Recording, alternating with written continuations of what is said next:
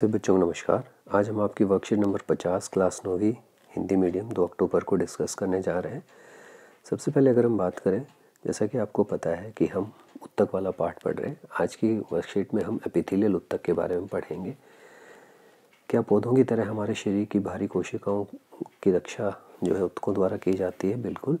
इनको जो है एपिथेलियल उत्तक कहते हैं हम, जो हमारे शरीर में जो है आंतरिक अंगों की गुहाओं को ढकना है, वे विभिन्न प्रकार के शारीरिक तंत्रों को एक दूसरे से अलग रखना, व रक्षा करने का काम करते हैं। ये हमारे शरीर में त्वचा, मुँह, आहर नली, रक्त वहिनी, फेफड़ों, कुपिका आदि में पाए जाते हैं। इस तरह से ये जो है, आप देख सकते हो, इसमें पाँच दिखा रखे हैं, लेकिन एक जो है आपका ग्रंथिल और जो है क्यूबोडल एक ही में से है तो इनको इसलिए लिखा हुआ है चार प्रकार के बने होते हैं। शल की पिथिलियल या स्तरित की बात करें तो ये बहुत ही पतले और चपटी होती हैं। कोमल स्तर का निर्माण करती हैं बाहर की रक्त वहिनी फेफड़ों की गुपिकाओं के जो है विसरण और आहार नलिका के अंदर आपको मिलेंगी। इनके अंदर जो है त्वचा की शल के पिथिलियम कई परतों को व्यवस्थित होकर स्तरित शल के पिथिलियम उत्तक का निर्माण करती है। स्तंभीय एपिथिलियम स्तंभी में जैसे आप देख रहे हो अवशोषण और जहाँ पे श्राव होगा, वहाँ पे हाथों के अंदर श्वसन नली, इन सब में मिलेगा आपको। श्वसन नली के भीतरी स्तर में स्तंभकार कोशिकाओं पर धागे के समान संरचना है, जिनको कि पक्षनाभ भी कहते हैं। इंग्लिश में शीलिया कहा जाता है।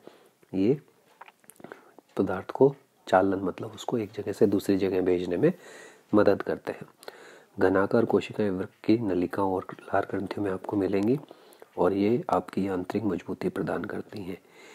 इनकी कोशिकाएँ ग्रंथि कोशिका काम करते हैं जो ज़रूरी पदार्थों का स्त्राव करती हैं। कभी कभी घनाकार एपिथेलियम उत्तक का कुछ भाग अंदर की ओर मुड़ जाता है तो उसको हम ग्रंथिल कह देते हैं, जो पदार्थों का स्त्रावन जैसे पसीना, श्लेष्मा, अश्रु आदि के वहाँ पे होता है।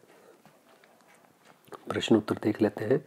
एपिथेलियम उत्तर में क्या कार्य होते हैं? ये कहाँ पर स्थित होते हैं? ये सब आपको उत्तर अगली स्लाइड्स में मिलेंगे।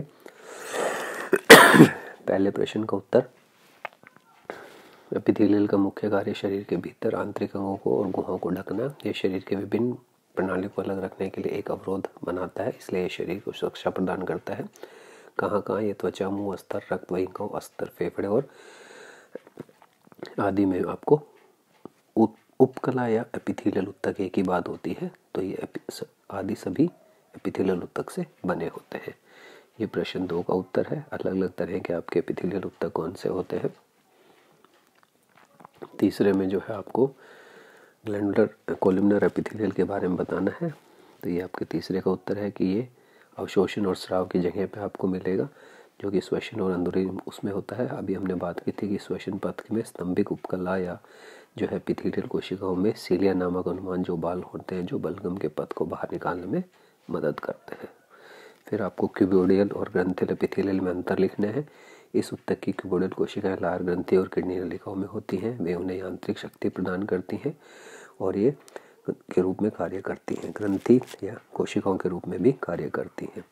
ग्रंथिल क्या है? ये कुबेडल उत्तक का एक हिस्सा है जो अंदर की ओर मुड़ जाता है और ये बहुत सारे पदार्थों को रिसाव करने में मदद करता है। यहाँ पे कई प्रकार के पदार्थों का जो है स्त्राव या रिसाव करने में मदद करता है, जैसे लार, पसीना, बलगम, आँसू आदि। उम्मीद करते हैं आपको वर्कशीट पसंद आई देखने के लिए धन्यवाद।